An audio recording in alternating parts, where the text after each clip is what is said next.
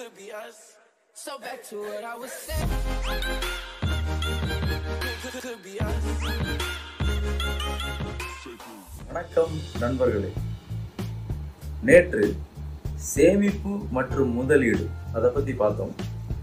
இன்னைக்கு breaking news என்னங்க breaking news புவி வெப்பமயமாதல். டிவியில் எவ்வளோ பிரேக்கிங் நியூஸ் போடுறாங்க. ஆனால் உண்மையான பிரேக்கிங் நியூஸ் இதுதான். உலக மக்கள்லாம் இனி தொடர்ந்து வாழணும் அப்படின்னா இந்த பிரச்சனையை நம்ம கண்டிப்பாக கவனிக்கணும். புவி வெப்பமயமாதல் அப்படின்னா குளோபல் வார்மிங் அப்படின்னு சொல்லுவாங்க. பூமியில ஒரு பக்கம் ஹீட் ஏறிக்கிட்டே இருக்கு. ஹீட் ஏறிக்கிட்டே இருக்கு. ஹீட் ஏறிக்கிட்டே இருக்குன்னா பூமிக்கு அடியில தீ வச்சு எரிக்காங்களா இல்லை. பூமியில உள்ள வாயுக்கள் என்னென்ன வாயுக்கள்? Carbon dioxide methane nitrous oxide chlorofluorocarbon. இந்த குளோரோப்ளோரா கார்பன் தான் இன்னைக்கு அதிகமாக யூஸ் ஆகுது. இது என்ன தெரியுமா? ஃப்ரிட்ஜு ஏசியிலலாம் பயன்படுத்துகிறாங்கல்ல அந்த வாயு தான். பட் மோசமான வாயுங்க இது.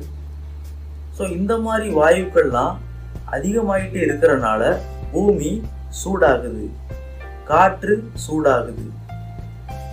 பசுமை குடிலுக்கு ஆபத்து. பசுமை குடில்னா என்ன? நம்ம பூமி தான் பசுமை குடில் இந்த பசுமை குடிலை அச்சுறுத்தும் வகையில தான் இந்த குளோபல் வார்மிங் இருக்கிறது. ஸோ இதான் உண்மையான பிரேக்கிங் நியூஸ் ஏன் இந்த ஹீட் ஏறிக்கிட்டே இருக்கு? சிகரெட் குடிக்கிறதுல இருந்து தொழிற்சாலையில வரக்கூடிய புகை வர கார் வண்டி புகை இப்படி எல்லா புகையும் சேர்ந்து பூமியினுடைய காற்றை அசுத்தப்படுத்துகிறது. சூடுபடுத்துகிறது. இப்போ நம்ம வீட்டுக்குள்ளே இருக்கோம்னு வச்சுக்கோங்க. வீட்டுக்குள்ளே புகை வருது. அம்மா சமைக்கும்போது சில நேரங்களில் புகை வரும் தெரியுமா? எக்ஸ்ட்ரா புகை. அப்போ நமக்கு உடனே என்ன வருது? இருமல் வருது. உடனே நம்ம ஃபேனை போடுறோம் வெண்டிலேட்டர் போடுறோம் வீட்டை விட்டு வெளியே போய் நிற்கிறோம் ஸோ இப்படி நிறைய விஷயங்கள் செய்கிறோம் சாதாரணமாக ஒரு சின்ன அடுப்புலேருந்து வரக்கூடிய புகையே நம்மளால் தாங்க முடியல. ஸோ பூமியில் ஒட்டு மொத்தமாக அவ்வளோ சேர்ந்து புகையை விடும்போது தொழிற்சாலை புகை கார் வண்டி புகை எல்லா புகையும் விடும்போது பூமி சூடாகுது அசுத்தமாகுது. ஸோ இதெல்லாம் குறைக்கணும் அப்படின்னா காடுகள் அழிக்கப்படக்கூடாது காடுகள் உருவாக்கப்பட வேண்டும். அப்படின்னா மரங்கள் நிறைய வளர்க்கணும் செடிகள் நிறைய வளர்க்கணும். இன்னொரு பக்கம் பார்த்தீங்கன்னா எரிமலை வெடிப்பெல்லாம் நிறைய நடந்துகிட்டு தான் இருக்கு. ஸோ அதுலேருந்து வரக்கூடிய கழிவும் ஆபத்து தான்.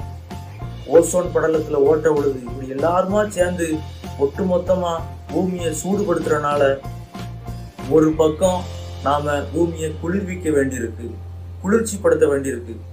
குளிர்ச்சிப்படுத்தணும்னா தண்ணி எடுத்து ஊத்துறது கிடையாது. தண்ணி வர வைக்கணும். வானத்திலிருந்து மழையை பொழிய வைக்கணும். அப்பப்போ மழை பெய்யணும். அப்போ மழை பெய்யணும்னா என்ன வேணும்?